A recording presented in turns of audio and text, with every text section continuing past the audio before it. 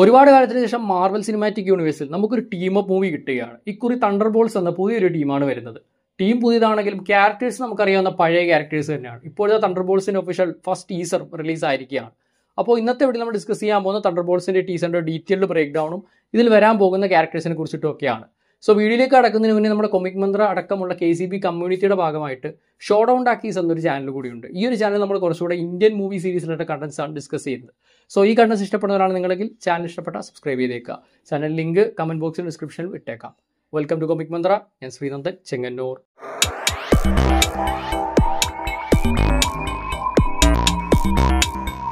കോമിക്സിൽ സീമോയാണ് തണ്ടർബോൾസ് ആരംഭിക്കുന്നത്. അവഞ്ചേഴ്സിന്റെ ആദ്യകാല എതിരാളികളിൽ ഒന്നായിരുന്നു മാസ്റ്റേഴ്സ് ഓഫ് ഈവിൾ എന്ന സൂപ്പർ വില്ലൻ ടീം. ആ ടീമിലെ പല റോസ്റ്റേഴ്സിലെ മെമ്പേഴ്സ് ആയിരുന്നു ആദ്യ തണ്ടർ ബോൾസ് ടീമിൽ പ്രധാനമായി ഉണ്ടായിരുന്നത്. തണ്ടർ ബോൾസ് മൂവി അനൗൺസ് ചെയ്തപ്പോൾ സീമോ ആകും ലീഡർ എന്നാണ് എല്ലാവരും ആദ്യം കരുതിയത്. എന്നാൽ സീമോ ടീമിലില്ല എന്ന് പിന്നീട് ഫസ്റ്റ് ലുക്കിലൂടെ റിവീലായി മേ ബി ഒരു സർപ്രൈസ് ക്യാരക്ടറായി സീമോ സിനിമയിൽ വന്നേക്കാം. കോമിക്സിൽ മൊത്തം പന്ത്രണ്ട് തണ്ടർ ബോൾസ് ടീം ഇട്രേഷൻസും അതിനുപുറമെ തണ്ടർബോൾസ് തണ്ടർ ബോൾസ് ആർമി എന്ന വേർഷനും വന്നിട്ടുണ്ട്. പല പല ലീഡേഴ്സാണ് ഓരോ ടീമിനും ഇക്കൂട്ടത്തിൽ Hawkeye Red Hulk Green Goblin Luke Cage എന്നീ ഫേമസ് മാർവൽ ക്യാരക്ടേഴ്സും ഉണ്ട്.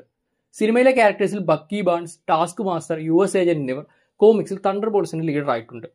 ട്രെയിലർ ഇറങ്ങുന്നത് അലക്സൈ അഥവാ റെഡ് ഗാർഡിയന്റെ വീട്ടിലേക്ക് മകളായി എലേനെ തിരികെ എത്തുന്നത് കാണിച്ചുകൊണ്ടാണ്. താൻ നേരിടുന്ന സ്ട്രഗിൾസിനെ പറ്റി എലേന അലക്സയോട് പറയുന്നു. Marvel Studios logo yellow colour വരുന്നു. ശേഷം തുറക്കുന്ന ഒരു ഡോറിന്റെ ബാക്കിൽ എന്ന പോലെ മുകളിലേക്ക് പോകുന്നു.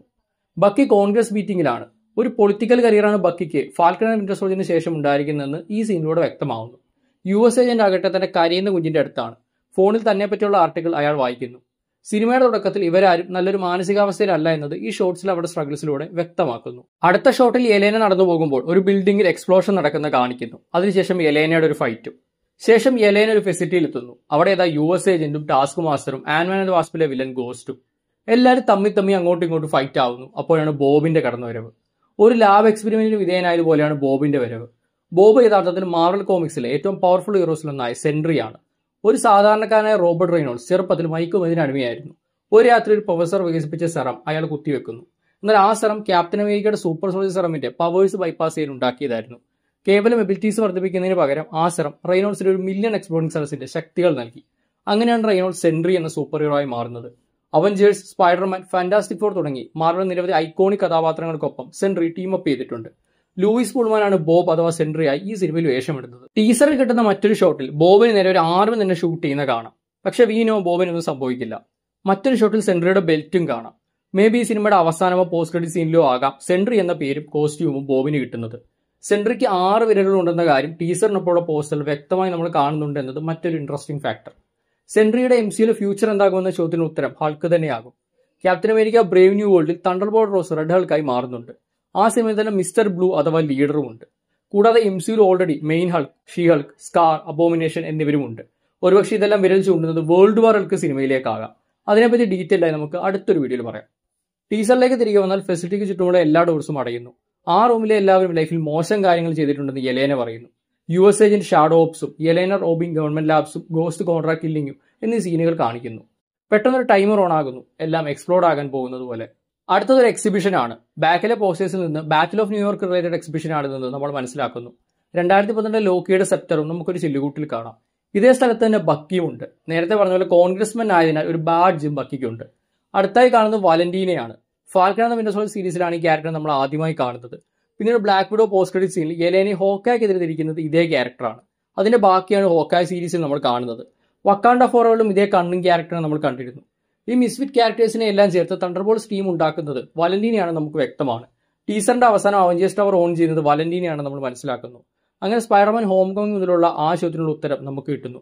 വലന്റീനയാണ് അവഞ്ചേഴ്സ് ടവറിന്റെ പുതിയ ഓണർ എക്സിബിഷനിൽ വലന്റീനയുടെ കൂടെ നിൽക്കുന്നത് മെലിസ ജോവാൻ ഗോൾഡ് അഥവാ സോങ് വേർഡ് എന്ന കോമിക്സിലെ ക്യാരക്ടറാണെന്നാണ് റിപ്പോർട്ട്സ് ജെറാൾഡൈൻ വിശ്വനാഥനാണ് ഈ റോളിൽ എത്തുന്നത്.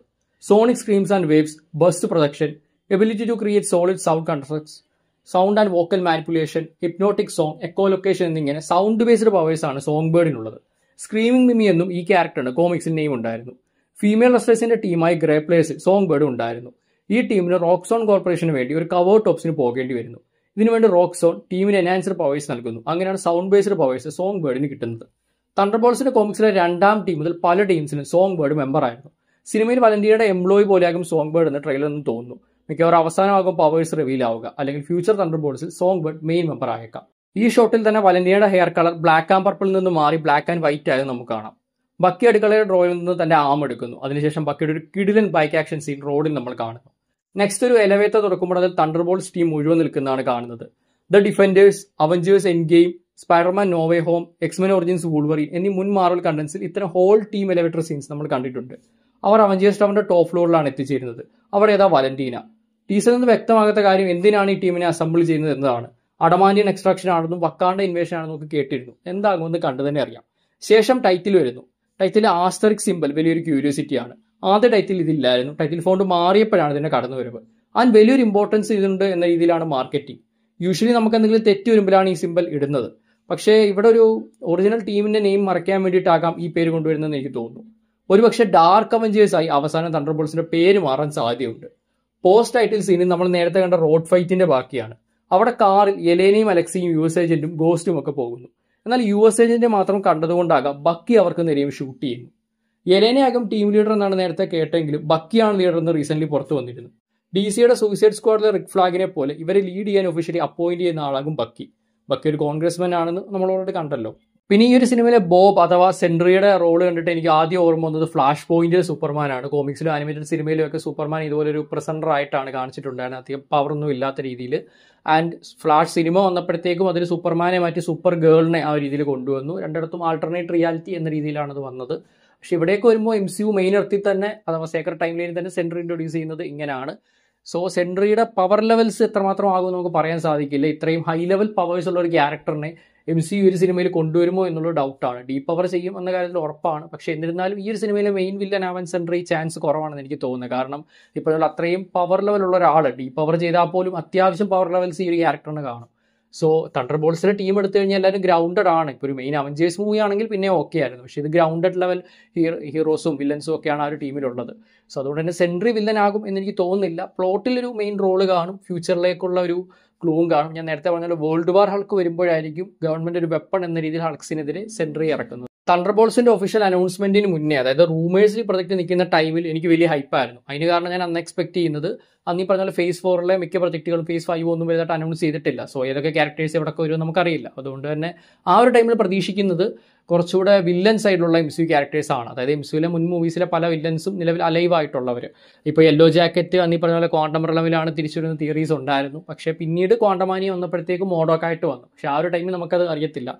അതേപോലെ തന്നെ അബോമിനേഷൻ ജസ്റ്റിൻ ഹാമർ ഗോസ്റ്റ് പിന്നെ ഇവരെല്ലാം ലീഡ് ചെയ്യാനായിട്ട് ഒബിയസ്ലി സീമോ പിന്നെ പുതിയ കുറച്ച് വില്ലൻസ് അങ്ങനെയൊക്കെയായിരുന്നു എക്സ്പെക്ട് ചെയ്തത്. പക്ഷേ ഒഫീഷ്യൽ അനൗൺസ്മെന്റ് വന്ന് റോസ്റ്റർ അനൗൺസ് ചെയ്തപ്പോഴത്തേക്കും ഈ പറഞ്ഞ പോലെ ഞാൻ നേരത്തെ പറഞ്ഞ ലിസ്റ്റിൽ നിന്ന് ഗോസ്റ്റ് മാത്രമാണ് വന്നത്. ബാക്കി എല്ലാവരും കുറച്ചുകൂടി ഒരു ഹീറോ അല്ലെങ്കിൽ ഒരു ആന്റി ഹീറോ സൈഡാണ് ബക്കി ബാൻസ് ആയിക്കോട്ടെ എലേന ആയിക്കോട്ടെ റെഡ് ഗാർഡിൻ ആയിക്കോട്ടെ ഇവരെല്ലാവരും കുറച്ചുകൂടി ഒരു ഹീറോ ആന്റി ഹീറോ സൈഡിലോട്ടാണ് വന്നത്. അപ്പോൾ എന്റെ ഇൻട്രസ്റ്റ് കുറഞ്ഞിരുന്നു.